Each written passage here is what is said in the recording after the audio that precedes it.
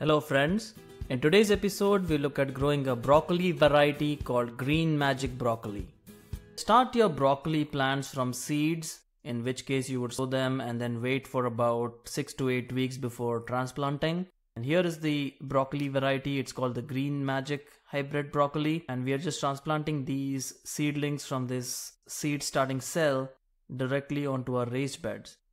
And yes, the broccoli does feed heavily it's a heavy feeder, so to get good broccoli heads, definitely make sure you're providing enough nutrients to the broccoli plant. Now 45 days since planting, you can see that the broccoli florets have emerged and they will keep growing and at this stage they do need a lot of nutrients.